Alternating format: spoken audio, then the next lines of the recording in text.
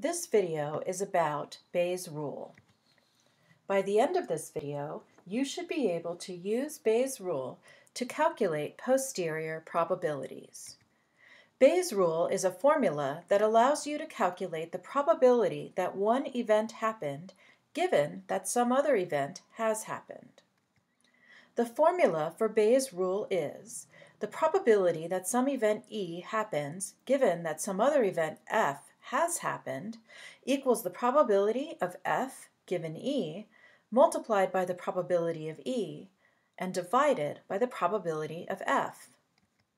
To see how Bayes' rule works, we will consider some examples using tests for the novel coronavirus known as SARS-CoV-2. There are a couple of important terms to understand when examining the accuracy of tests like these. The first term to know is the sensitivity of a test, which tells you the probability that you will have a positive test result if you have the virus. The next term is the specificity of a test, which tells you the probability that you will have a negative test result if you don't have the virus. 1 minus the sensitivity of a test tells you the probability that you will get a negative test result if you have the virus. This is also known as the false negative rate of a test. 1 minus the specificity of a test tells you the probability of getting a positive test result if you don't have the virus, also known as the false positive rate. The last term to know is the prevalence of the virus, which measures the percent of the population that actually has the virus. Although we don't know this number exactly for SARS-CoV-2 because it is a new disease, we will use 5% as our estimate of the prevalence, as that is what the U.S. Food and Drug Administration has used in its calculations.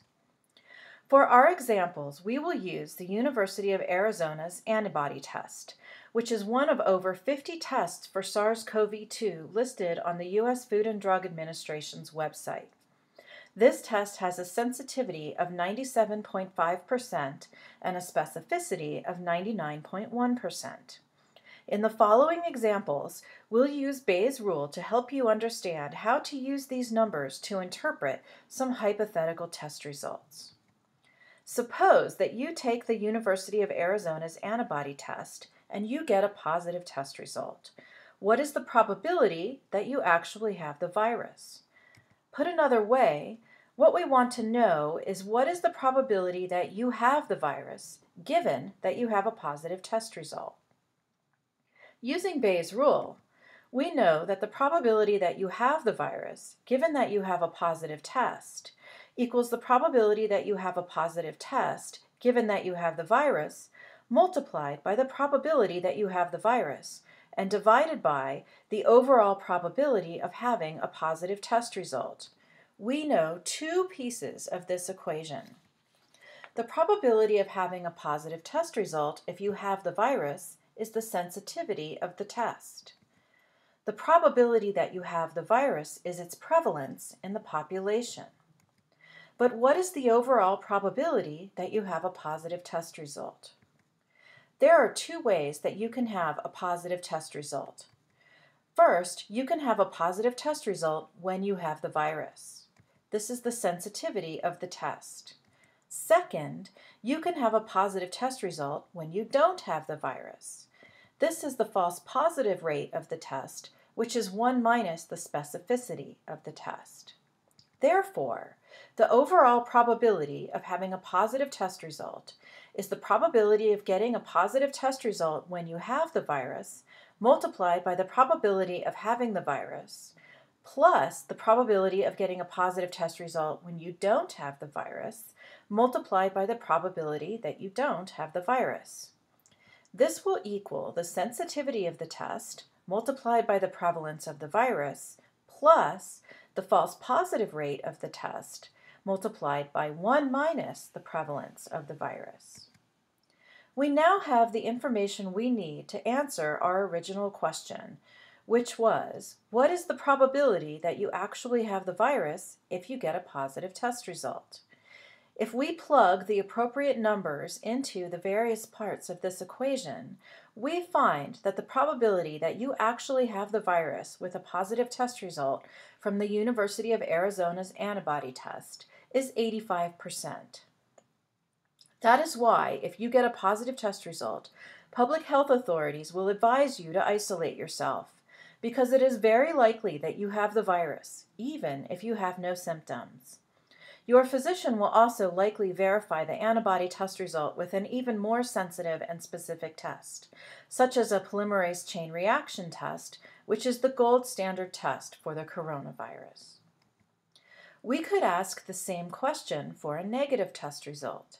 Given that you test negative, what is the probability that you truly don't have the virus?